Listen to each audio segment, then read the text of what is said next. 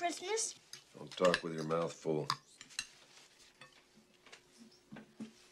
Sorry. That means there's bound to be magic things happening. Give me a break. You don't know anything about it. I Our teacher oh, There is something about a full moon. Nancy Hooper works over at the hospital, and she says whenever there's a full moon, the patients on the eighth floor, you know, the mental patients, they all start acting up like crazy. Really? Mm-hmm. How? Why don't you go there on Christmas Eve and find out? They'll show you magic. Why are you so nasty? You want to eat like an animal, take your food out to the barn.